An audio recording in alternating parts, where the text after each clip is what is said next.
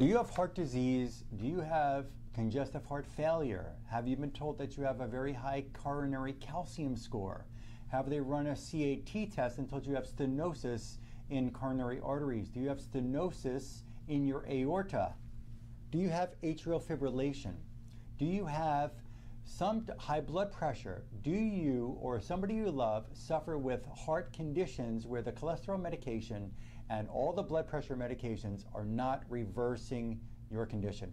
My name is Dr. Lonnie Herman, and I'm going to share with you in this video how I perform very unique exams and I'm able to find what's causing stress to one individual here that I'm working on. I've got this file in front of me. I'm going to share with you addressing the causes of her heart condition that I am certain your cardiologist, your cardiac surgeon, your general practitioner, your internist, your rheumatologist, they are not talking about these findings. They are not discovering these.